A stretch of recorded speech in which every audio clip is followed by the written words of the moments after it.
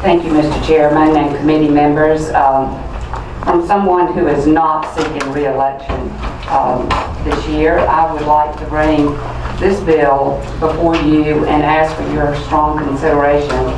Uh, It would make it, the bill would make it unlawful for a physician to perform an abortion on a pregnant woman after a heartbeat has been detected from the unborn child.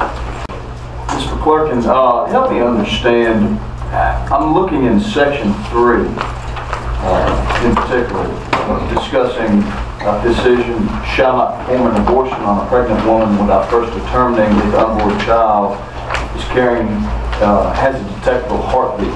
It Goes on to say that the procedure for detecting the heartbeat shall be pursuant to the applicable medical standard of care. What is the med- applicable med- medical standard of care for determining the heartbeat of an unborn child?